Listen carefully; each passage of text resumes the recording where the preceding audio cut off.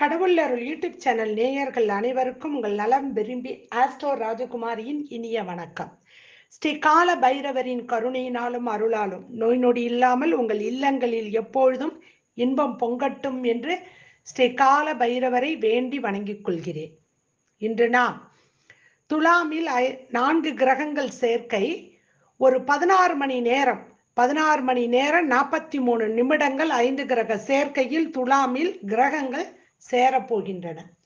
அப்ப என்ன மாதிரி எல்லாம் நடக்கும்? அதை பத்தி தான் நம்ம இங்க பார்க்க போறோம். இதை பதற்றம் அடைவதற்கோ அல்லது பயமுறுத்துவதற்கோ இல்லை இந்த பதிவு.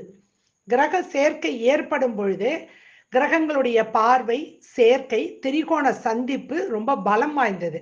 அப்படி இருக்கும் பொழுது கிரகங்கள் என்ன சொல்ல வருகிறது அப்படிங்கிறத படித்ததனால் இந்த பதிவு. நிறைய பேருக்கு இது பயன்படும். ஒவ்வொரு ராசிக்கும் பார்க்க போறோம். அதற்கு முன்னாடி எப்பப்ப சேருது அப்படிங்கிறத மட்டும் ஒரு இன்ட்ரடக்ஷன் கொடுத்துட்டு பன்னெண்டு ராசிக்குள்ள போவோம். இருபத்தி நாலு பத்து ரெண்டாயிரத்தி இருபத்தி இரண்டு. அன்று துலாமில் ஏற்கனவே சூரியன் சுக்கரன் கேது அமர்ந்திருக்கும் பொழுது சந்திர பகவான் இரவு ரெண்டு இருபத் ரெண்டு முப்பத்தி மூணுக்கு வந்து துலாமில் சேர்கிறார். இருபத்தஞ்சு பத்து ரெண்டாயிரத்தி இருபத்தி இரண்டு நான்கு கிரகங்கள் சேருகின்றன. சூரியன் சுக்கிரன் கேது சந்திரன். அன்று சூரிய கிரகணம். ஒரு சூரிய கிரகணம் நடைபெறும் பொழுது கொஞ்சம் பதட்டம் இருக்கும். அதுவும் கண்டிப்பாக முப்பது நாட்களுக்குள் அரசாட்சியில் இருக்கக்கூடியவர்களுக்கு மிகப்பெரிய ஒரு ஆட்டம் காணும் அப்படிங்கிறது ஜோதிட விதி. இதுல என்னன்னா சூரியன் எக்ஸாக்டா நீச்சத்துல உட்காந்துருக்காரு சுவாதி ஒண்ணுல. அப்படி இருக்க போது இந்த சூரிய கிரகணம் நடைபெறுகிறது. அடுத்த ராஜகிரகம் என்று சொல்லக்கூடிய குரு பகவான் நல்லா இருக்கணும். அவர் ஆட்சி வக்கரம் சரி இதுல பலமாக ஒன்னே ஒண்ணு நிக்குது. செவ்வாய் தன்னுடைய சொந்த நட்சத்திரத்தில் மிருகசிரிஷபம் மூன்றாம் பாதத்துல உட்கார்ந்துருக்குது அது திரிகோணத்துல இந்த சூரியன் சந்திரன் புதன் சுக்கரன் கேது இவர்களையெல்லாம் திரிகோண சந்திப்பில் சந்திக்க போகிறது. இதுல ஐந்து கிரக சேர்க்கை எக்ஸாக்டா இருபத்தி ஆறு பத்து ரெண்டாயிரத்தி இருபத்தி இரண்டு சூரிய கிரகணம் முடிஞ்ச உடனே வரப்போகுது. சூரியன் சுக்கரன் புதன் சந்திரன் கேது இது எல்லாமே வந்து இருபத்தி ஆறு பத்து ரெண்டாயிரத்தி இருபத்தி இரண்டு பகல் ஒரு ஒன்று நாற்பத்தி எட்டுக்கெல்லாம் புதன் பகவான் வந்து இணைகிறார் துலாமில். கிட்டத்தட்ட இந்த ஐந்து கிரகங்கள் ஒரு முப்பது டிகிரிக்குள்ள பதினாறு மணி நேரம் நாற்பத்தி மூணு நிமிடங்கள் இருக்க போகின்றன. அதை தாண்டி தான் சந்திர பகவான் அடுத்தது விருச்சிகத்துக்குள்ள செல்வாரு விசாகத்துக்குள்ளார. அது வரைக்கும் இந்த கிரகங்கள் எல்லாமே வந்து உட்கார போகின்றன துலாமில் பொதுவாகவே துலா ராசியை பொறுத்த வரைக்கும் அது ஒரு நில ராசி. சாரி காற்று ராசி. காற்று ராசி அந்த காற்று ராசிக்குள் இந்த சேர்க்கை ஏற்படுகிறது. ஏற்படுவது தவறு கிடையாது. முப்பது டிகிரிக்குள்ளார இப்போ அதில் வந்து ஒரு மூணு அதாவது முப்பது டிகிரிக்குள்ள ஒரு மூணு கிரகம் நிற்கலாம் அஞ்சு கிரகம் நிற்கும் பொழுது அது கிரக யுத்தத்துக்குள்ள மாட்டும். அப்படி மாட்டும் பொழுது இங்கே என்ன நடக்குது அப்படின்னா இதில் கிட்டத்தட்ட சூரியன் சந்திரன் புதன் சுக்கிரன் கேது இந்த அஞ்சு சேர்க்கை நடைபெறக்கூடிய இந்த காலகட்டத்தில் இதுல சந்திரன் புதன் சுக்கரன் அஸ்தமனம் ஆயிடுது அப்ப ஆட்சி அஸ்தமனத்தில் சுக்கர பகவான் போய் அமர்ந்து நின்னுறாரு சூரியன் நீச்சத்துல உட்காந்துருது அப்போ கிரகங்கள்ல செவ்வாய் பகவான் மட்டுமே இங்க இருந்து காப்பாத்தணும். ஆனா ச- செவ்வாயினுடைய எட்டாம் பார்வை சனியில் விழுந்திருக்கிறது. சனியினுடைய பத்தாம் பார்வை இந்த அதுவும் அழித்தல் பார்வையாக தொழில் ஸ்தானத்துல போய் விழுந்திருக்குது. இதுதான் அங்க இருக்கக்கூடியது. ராகுவின் ஏழாம் பார்வை இந்த ஐந்து கிரகங்கள் மேல் விழுகின்றன. இந்த ஐந்து கிரகங்களை ராகுவை பார்க்குது. ராகு நெருப்பு ராசியில நிக்குது. அப்போ செவ்வாய் பகவானும் காற்று ராசியில் அமர்ந்து ஐந்து கிரக சேர்க்கையும் காற்று ராசியில் அமர்ந்து சனி பகவான் நில ராசியில் அமர்ந்து ராகு நெருப்பு ராசியில் அமர்ந்து இருக்கும் பொழுது குருவினுடைய பார்வை இங்க எங்கேயுமே இல்லை. எந்த ஒரு கிரகத்தின் மேலேயும் குருவினுடைய பார்வை இல்லை. ஏன்னா குரு பார்த்தால் ஓரளவுக்கு இங்க தன்மை கொஞ்சம் குறையும்.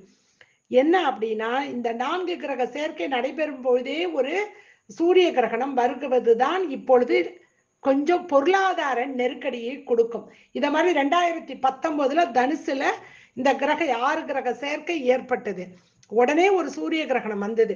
அப்ப அது பிரச்சனையே கொடுத்தது. இப்ப சுவாதி நட்சத்திரத்தின் மீது நரசிம்மருடைய நட்சத்திரத்தின் மீது எக்ஸாக்டா சூரியன் நீச்சத்தின் போது இந்த ராகுவின் கேதுவினுடைய பலம் அதிகமாக இருக்குது.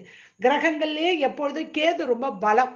அதனாலதான் கேதுவினுடைய அதிதேவதையாக விநாயக பெருமானும் சித்திரகுப்தனையும் வச்சாங்க. ஒன்னு ஆரம்பம் ஒன்னு முடிவு. ஒரு மனிதன் ஆரம்பிக்கும் பொழுது விநாயகரோடு ஆரம்பிக்கணும். அவனுடைய முடிவு கணக்கை எழுதக்கூடியவர் சித்திரகுப்தன். இது ரெண்டுமே கேதுவினுடைய கையில இருக்கு. ஒன்பது கிரகத்துல ரொம்ப பவர்ஃபுல் கேது. கேது கிரகஸ்த சூரிய கிரகணம். அப்படி இருக்கும் பொழுது துலா ராசியை பொறுத்த வரைக்கும் அந்த ராசியினுடைய தன்மையே தராசு தான். அப்படி இருக்கக்கூடிய நிலையில் பொருளாதார நெருக்கடி அதாவது ஒவ்வொரு ராசியில் கிரகங்கள் இருக்கும் பொழுது என்ன பலன்னு ஒரு ஜோதிடத்துல விதி இருக்குது. துலா ராசியில் சூரியன் சந்திரன் புதன் கேது இவர்கள்லாம் வந்து அமரும் பொழுது கண்டிப்பாக பொருளாதார விலையேற்றம் இருக்கும். இது காமனா உள்ள ஜோதிட விதி. சுக்கரன் போய் உட்காரும் பொழுது பொருளாதார இறக்கம் இருக்கணும். ஆனா அவன் அஸ்தமனம் ஆயிட்டான் அதனால அவன் பலகீனம் ஆயிட்டான் ஆட்சி அஸ்தமனம். அதனால அவராலையும் ஒன்றும் பண்ண முடியாது. அவரே இங்க கிரகணத்துல மாட்டி அவஸ்தையில நிக்கிறாரு. அப்படி இருக்கக்கூடிய சூழ்நிலையில் மீனத்துல இருக்க குருவோ ஆட்சி வக்கரத்துல அமர்ந்து இருக்காரு. பொருளாதார நெருக்கடி மாட்டுவோம். ஒண்ணு அதே நேரத்துல பேங்கெல்லாம் வந்து ஒண்ணு இணையக்கூடிய வாய்ப்புகள் இருக்குது. பிரைவேட் பேங்காக மாறுறதுக்கான வாய்ப்புகள் இருக்குது. இல்லை அப்படின்னா அதை பற்றி மக்களுக்கு ஒரு பீதி ஏற்படுவதற்கான வாய்ப்பும் இப்பொழுது ஏற்படும். இன்னொன்னு நெருப்பு ராசியில் செவ்வாயின் வீட்டில் ராகு அமரும் பொழுது ராகுவினுடைய பார்வையில் செவ்வாய். செவ்வாயின் பார்வையில் சனி. அப்படி இருக்கும் பொழுது மக்களுக்கு அதுவும் வந்து போலீஸுக்கும் மக்களுக்கும் இடையே ஒரு கலவரம் பதட்டம் இது மாதிரி நடக்கக்கூடிய சூழ்நிலை ஏற்படுவதற்கு வாய்ப்பு இருக்கிறது. ரெண்டாவது ஒரு விஷயம் சீருடை அணிந்து இருக்கக்கூடியவர்கள் எல்லாம் சிக்கலில் மாட்டக்கூடிய காலகட்டமாக இருக்குது. அரசியலில் பெரிய மாற்றங்கள் பெரிய இழப்புகள் வருவதற்கான காலகட்டமாக இருக்கும். இது பொதுவான பதில். பொதுவான இந்த கிரகங்கள் நிற்கக்கூடியதற்கான பதிவு இது. பனிரெண்டு ராசிகளுக்கு இந்த கிரக சேர்க்கை என்ன கொடுக்குது? அதை பற்றி பார்ப்போம். வாங்க உள்ளார போகலாம். எதை செய்யலாம் எதை செய்யக்கூடாது. ஏன்னா பதினேழு நாட்கள் தான். அதுக்குள்ள என்னென்ன இருக்குதுங்கிறத மட்டும் பார்த்தரலாம் சரிங்களா? வாங்க பன்னெண்டு ராசிக்குள்ள போகலாம். கும்ப ராசி நேயர்களே உங்க ராசியில தான் அவிட்டம் சதயம் பூரட்டாதின்னு மூணு நட்சத்திரம் இருக்குது. இதுல உங்க ராசி அதிபதியாக இருக்கக்கூடிய சனி பகவான் விரயத்தில் வந்து விரய சனியில நீங்க இருக்கிறீங்க. மூணுக்கும் பத்துக்கும் அதிபதியாக இருக்கக்கூடிய செவ்வாய் பகவான் அஞ்சுல போய் உட்கார்ந்துருக்காரு ஆறாம் அதிபதி ஒன்பதுல உட்கார்ந்து ஒரு சூரிய கிரகணத்தையும் மூன்றாம் இடத்துல போய் ஒரு சந்திர கிரகணத்தையும் நடத்த போறாரு. ஏழாம் அதிபதியான சூரியன் பாக்கியத்தில் வந்து உட்கார போகிறார். ஒன்பதாம் பாவம் தந்தை ஸ்தானா தந்தையினுடைய ஸ்தானம் அந்த இடத்துல வந்து தந்தை காரக கிரகம் நீச்சமாயி ஒரு கிரகணத்தை நடத்த போகுது. அஞ்சுக்கும் எட்டுக்கும் அதிபதியான புதன் பகவான் பாக்கியத்தில் வந்து அமர்ந்து அஸ்தமனமாகிறார். நாலுக்கும் ஒன்பதுக்கும் அதிபதி. தாய் தந்தை. இந்த ஸ்தானாதிபதி அஸ்தமனம். ரெண்டுக்கும் பதினொன்னுக்கும் அதிபதியான குரு பகவானோ குடும்பஸ்தானத்தில் வந்து ஆட்சி வக்கரத்தில் அமர்ந்து உட்கார்ந்திருக்காரு. இதுதான் கிரக நிலைகள். மூணுல ராகு ஒன்பதுல கேது. மூணில் இருக்க ராகு எல்லா வீரியமும் அசட்டு தைரியம் நல்ல துணிச்சல் இவற்றையெல்லாம் கொடுத்து செய்ய அப்படின்னு எல்லாத்துலேயும் உபயமாக நான் இருந்து உனக்கு ஹெல்ப் பண்றேன்னு பண்ணுவாரு. கொஞ்சம் மேலேந்து விழும்பொழுது கீழே அடிபடுமா படாதாங்கிறத பார்த்துக்கிட்டு விடணும் இல்லையா? அதை யோசிக்கணும். சரியா? சரி. இப்படி இருக்கும் பொழுது ஒன்பதாம் இடத்தில் ஒரு கிரகணம் சூரிய கிரகணம் மூன்றாம் இடத்தில் ஒரு சந்திர கிரகணம். சரி. உங்களுடைய முதல்ல விரய சனியில் இருக்கும் பொழுது விரயங்கள் நிறைய நடந்துகிட்டு இருக்கும். இல்லைங்களா? ராசி அதிபதியே அவரே தான். அவர் விரயத்துக்கு போகும் பொழுது ஒரு ராசியின் அதிபதி நல்லா இருக்கணும். செவ்வாய் சாரம் ஏறி உட்கார்ந்துருக்காரு. அது அவ்வளவு சிறப்பை கொடுக்காது.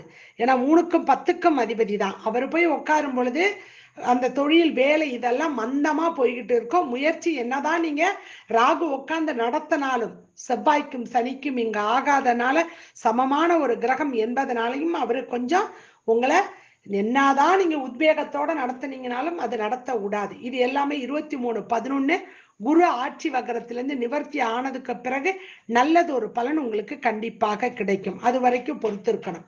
அதே நேரத்துல சுவாதி நட்சத்திரத்தில் இந்த கிரகண சேர்க்கை கிரகணம் கேது கிரகஸ்த கிரகணம் இருபத்தஞ்சு பத்து ரெண்டாயிரத்தி இருபத்தி ரெண்டு நடைபெறுவதனால் அதுக்கு ஜென்ம அனுஜென்மமாக இருக்கக்கூடிய திருவாதிரை நட்சத்திரம் இதுல சதய நட்சத்திரம் இது ரெண்டுமே ராகுவி நட்சத்திரம்.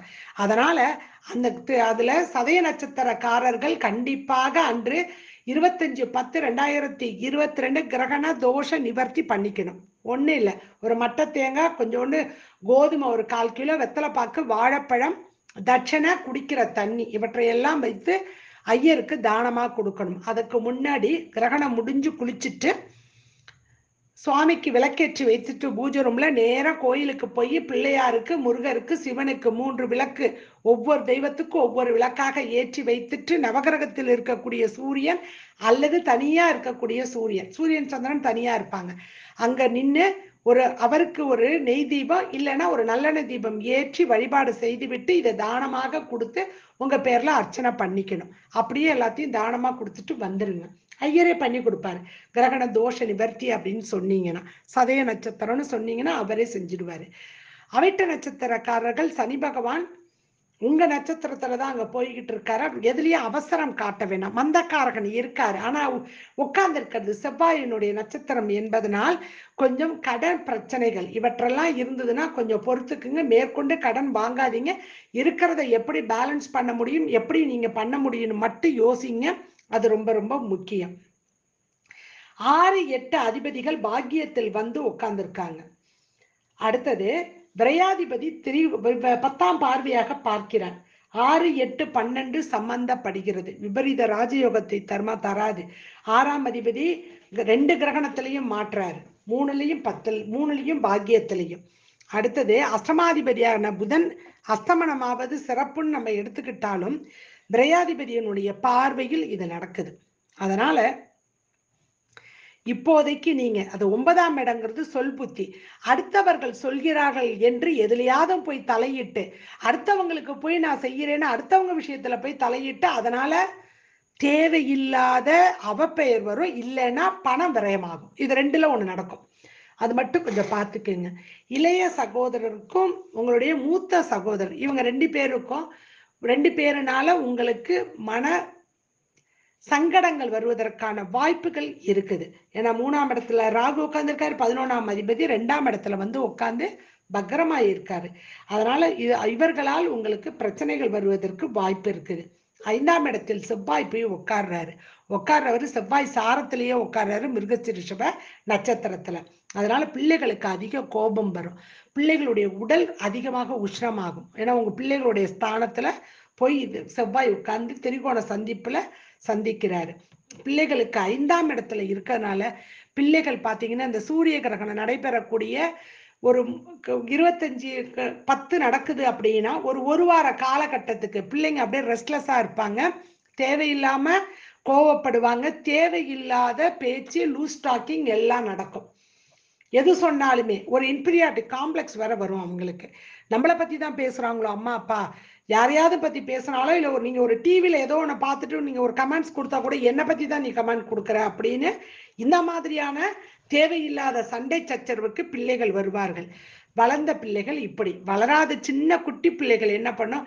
எதையாவது கையில காலில் போட்டு அடி கையில் காலில் அடிபட்டுக்கிட்டு வந்து நிற்கும் பிள்ளைகளை கவனமாக பாருங்க. கூர்மையான பொருட்கள் பிள்ளைகள் கையில் எக்காரணத்தை கொண்டும் கொடுக்காதீர்கள். சரிங்களா? அடுத்தது உங்களுடைய பாக்கியஸ்தானத்தில் இந்த கிரக சேர்க்கை ஒரு சூரிய கிரகணம் அதே நேரத்தில் பாக்யாதி ஒன்பதாம் பாவத்துக்கு உரியவரும் ஒன்பது பாவத்துக்கு உரிய கிரகமான சூரியன் தந்தை ஸ்தானம். இது வந்து இருக்கிறதுனால தந்தை தாய் உடல் உபாதைகள் வருவதற்கு வாய்ப்பு இருக்கு. மருத்துவருடைய உதவி கண்டிப்பாக சூரிய கிரகணம் சந்திர கிரகண காலகட்டங்களில் தேவைப்படுவதற்காக இருக்கும். சூரிய கிரகணம் சந்திர கிரகணம் தன்று தயவு செய்து உங்களுடைய தாய் தந்தைக வீட்டை விட்டு வெளியில போக வேண்டாம். கிரகணத்துக்கு ஒரு அஞ்சு மணி நேரத்துக்கு முன்னாடியே அவர்கள் சாப்பிட்டுட்டு வயிற்றுக்கு செரிமான சக்தியை கொடுக்காம கடவுளை நோக்கி ஓ நமச்சிவாயோ இல்ல ஓ நமோ நாராயணா அவங்களுக்கு என்ன பிடிக்குதோ அந்த தெய்வத்தை நினைத்து சொல்லிக்கொண்டே இருக்க வேண்டும். இருந்தாங்கன்னா அவங்களுக்கு பிரச்சனைகள் வராது. அது முதல்ல புரிஞ்சுக்கிங்க. சரிங்களா?